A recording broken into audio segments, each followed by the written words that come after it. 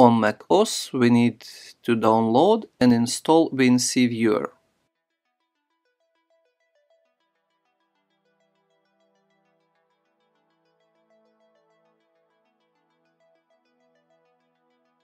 Open terminal and login idun login 1.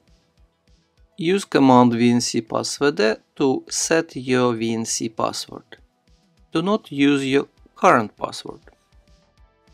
Now we can use command vnc server to create our desktop. Desktop number 2 was created. This is important moment. You will get different desktop number here.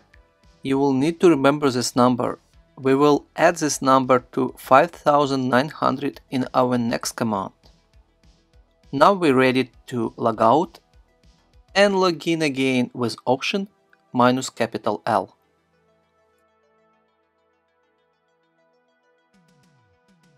After login, do not close your terminal. You can minimize it.